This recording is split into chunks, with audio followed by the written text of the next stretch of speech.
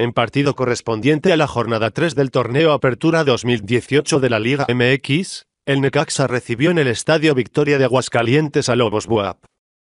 En la primera parte, el guardameta de los Rayos, Hugo González, tuvo una oportuna intervención para evitar que el conjunto poblano se adelantara, siendo lo más destacado de los primeros 45 minutos, además de la expulsión de Luis Gallegos, quien dejó con 10 hombres a los hidrocálidos al 39.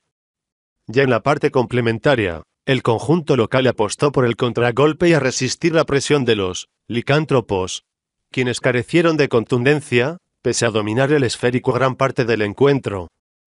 Ya cuando agonizaba el encuentro, Diego Jiménez perdonó tras plantarse frente a Hugo González y no lograr definir completamente solo.